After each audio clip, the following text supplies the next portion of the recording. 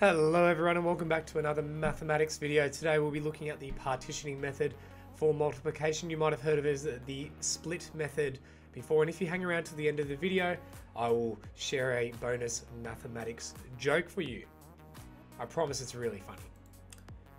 So to break down partitioning, or basically partitioning is breaking down numbers, it's making multiplication problems a bit more easy to calculate. So if we had the example of 15 multiplied by 5, um, we can make it easier by turning it into 10 by 5, which is 50, and then 5 times 5, which is 25.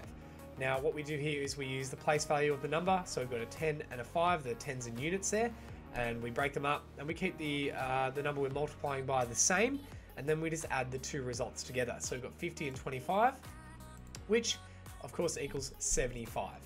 Um, it's a really good method and we're going to go through quite a few examples and you'll do some yourself before you get to hear your amazing joke.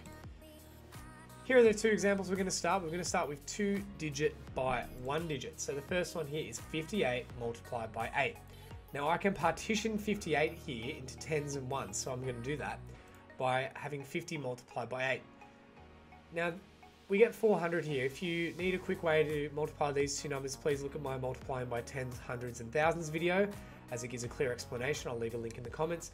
But very quickly, basically, you can just multiply 5 by 8 in this instance, which gives us 40, take away the 0, and then add it back on to make 400. And then we have 8 times 8, which is 64. Then all you have to do with partitioning is to add these two numbers together, which is 400 plus 64, which will give us, of course, 464 as our correct answer. Second example, another two digit by one digit multiplication. We've got 29 multiplied by 7. And um, with this one, of course, we're going to partition 29 because it is the bigger number and keep 7 the same. Because we can't partition 7 because it's just 7.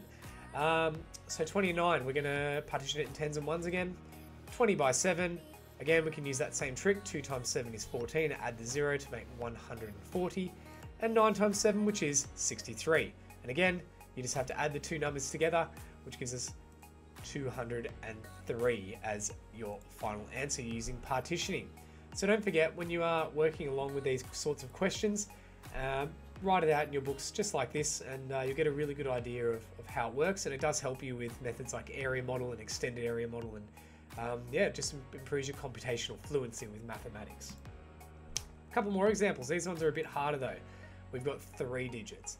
The method stays exactly the same, however this time, instead of partitioning into tens and ones, we are going to partition into hundreds, tens, and ones.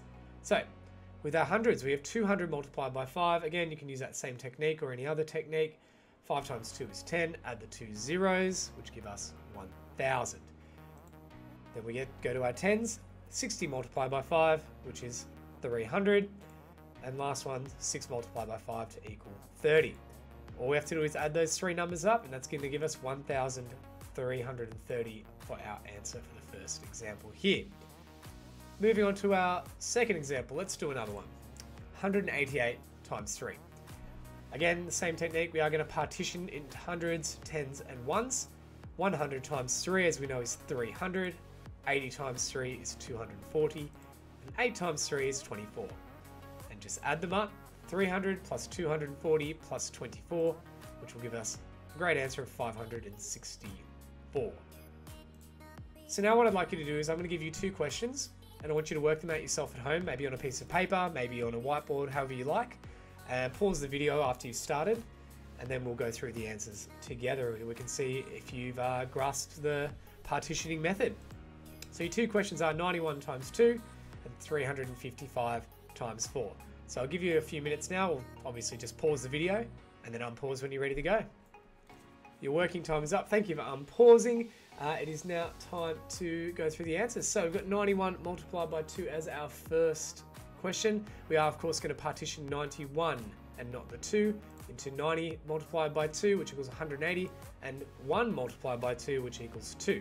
Then all you have to do is add 180 and 2 to get 182 as your final answer for the first result.